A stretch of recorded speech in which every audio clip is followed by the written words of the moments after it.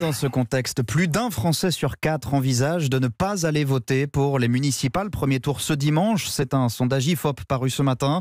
Les appels à remplir votre devoir civique se multiplient pourtant de tous les côtés de la classe politique.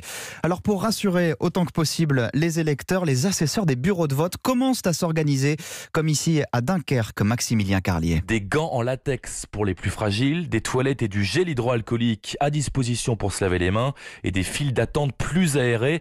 Voici ce à quoi vont ressembler les bureaux de vote à Dunkerque, des mesures sanitaires qui soulagent les habitants. Ça me rassure totalement, j'irai faire mon devoir électoral. Oui, je pense que c'est un, une obligation, il faut y aller. Euh. De prendre des précautions, oui, quand même. Hein, parce que si on attrape ça, ben... Avec tout ce qui est, comme on l'a dit, qui est maintenant à l'heure actuelle, euh, si, c'est bien.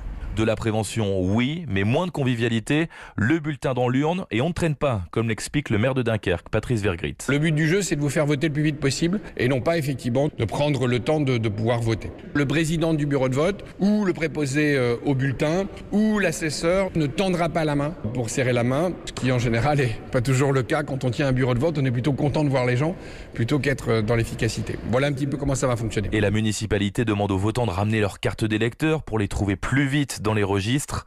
Autre consigne, pensez à prendre votre propre stylo pour signer et éviter d'en manipuler un autre. Dunkerque, Maximilien Carlier, Europe 1.